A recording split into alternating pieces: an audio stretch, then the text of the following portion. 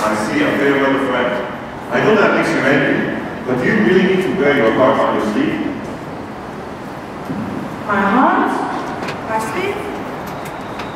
Oh, this must be another idiom. What does it mean this time? Good point. To wear your heart on your sleeve is another idiom. People who wear their heart on their sleeve share their emotions freely and openly, so everybody knows what they are thinking. They never hold back their emotions.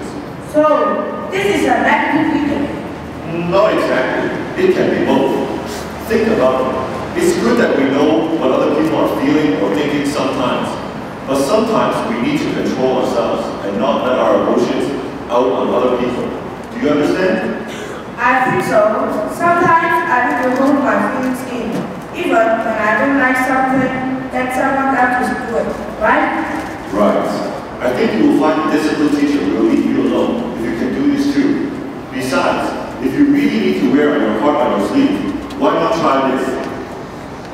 Sir, are you sure you understand?